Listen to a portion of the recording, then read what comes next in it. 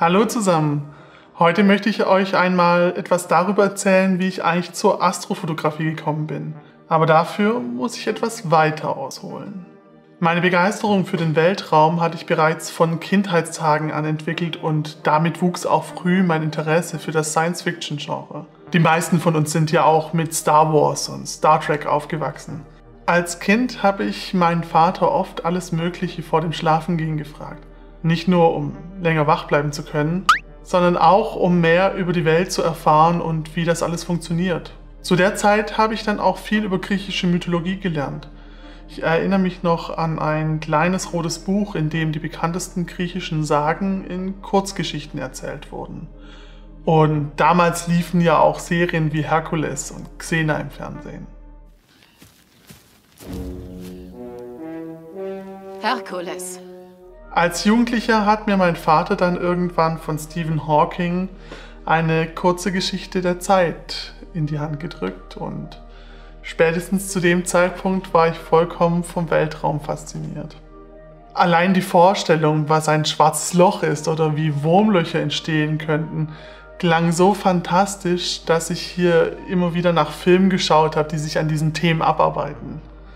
An dieser Stelle einfach mal drei Filmempfehlungen.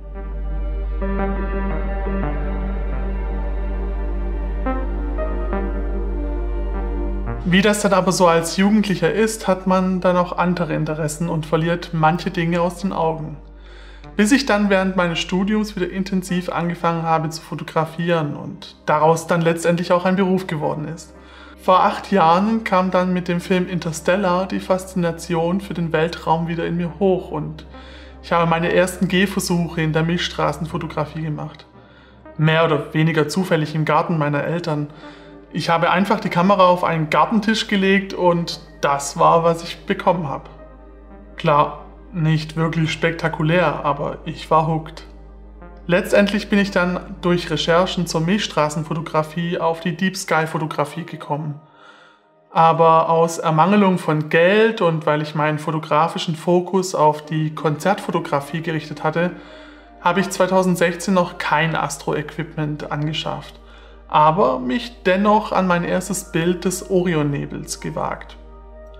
Gut, viel Rauschen und wenig Details. Ich hatte einfach zu wenig Bilder gemacht, da ich noch nicht wusste, wie das mit dem Stacking-Verfahren richtig funktioniert.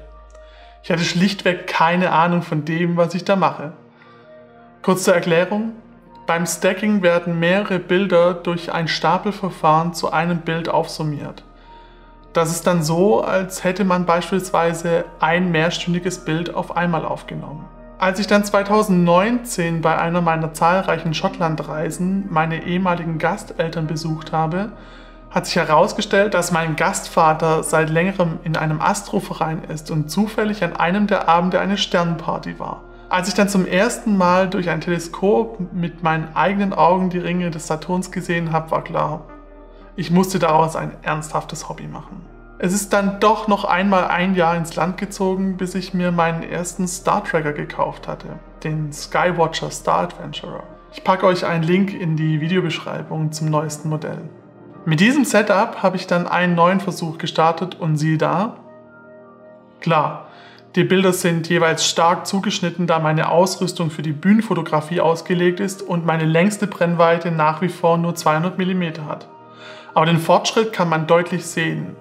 Hier zum Vergleich nochmal die Aufnahme aus 2016.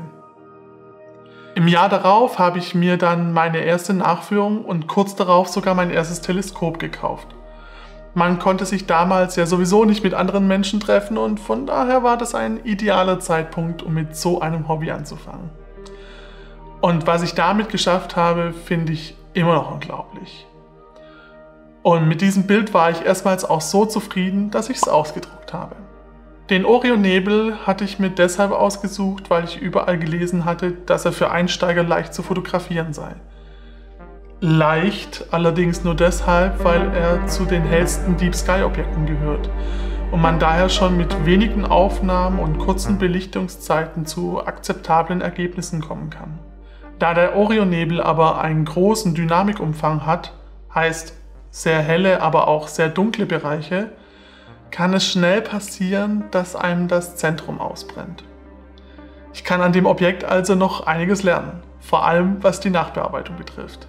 An dieser Stelle möchte ich euch aber dazu motivieren, es selbst auszuprobieren.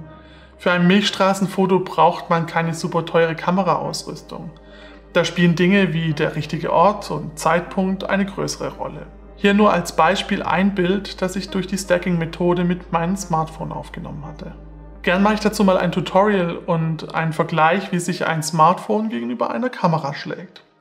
Schreibt mir also gern in die Kommentare, ob das was für euch wäre. Jetzt möchte ich aber von euch wissen, wie eure Reise zur Fotografie begonnen hat. Betreibt ihr auch Astrofotografie oder habt ihr euch ein anderes Feld ausgesucht? Und wenn ihr nichts mehr verpassen wollt, dann lasst doch ein Abo da und aktiviert die Glocke. Es gibt noch viel zu erzählen und bis dahin, clear skies.